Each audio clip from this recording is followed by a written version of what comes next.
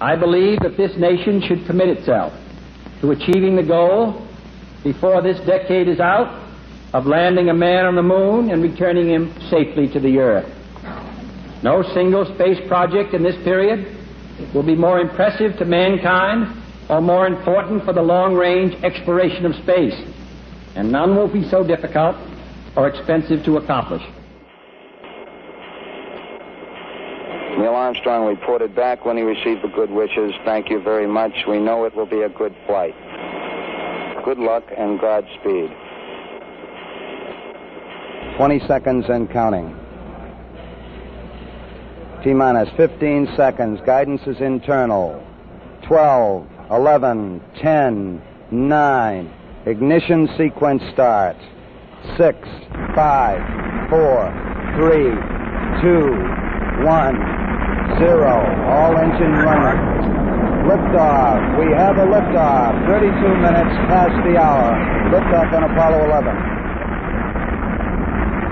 Roger, we got a roll from Tower cleared. Roger, roll.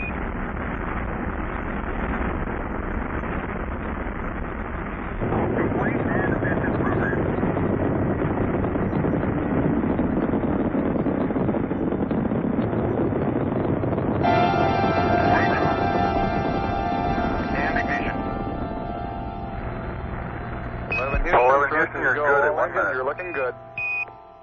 Hi, Roger. You're loud and clear. You They carried with them the biological day of the Earthling three meals, a snack or two, eight hours of sleep. Time to work, time to relax, time to reflect.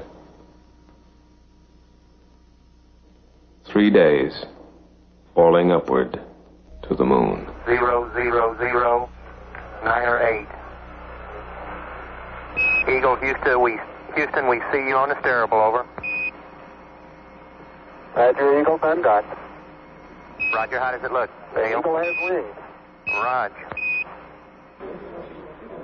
Okay, all flight controllers, gonna go for landing. Retro. Go. Fido. Go. Guidance. Go. Control. Go. Telcom. Go. GNC. Go. EECOM. Go. Surgeon. Go. Capcom, we're go for landing. Altitude 4200. Houston, you're a go for landing. Over. Tranquility Base here. The Eagle has landed. Okay, Neil, we can see you coming down the ladder now.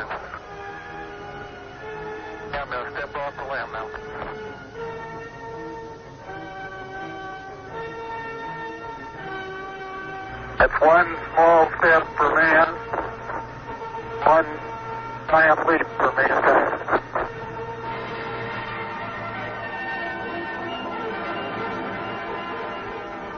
Neil and Buzz, the President of the United States is in his office now and would like to say a few words to you. Over.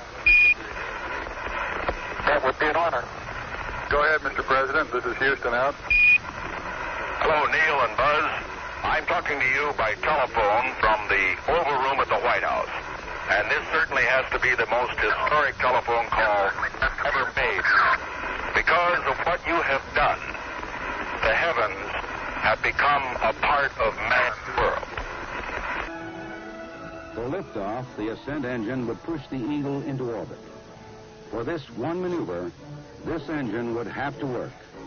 There was no alternative. And we waited.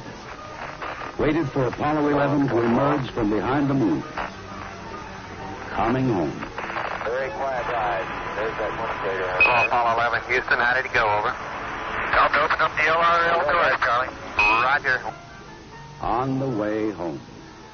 Neil Armstrong, Mike Collins, and Buzz Aldrin.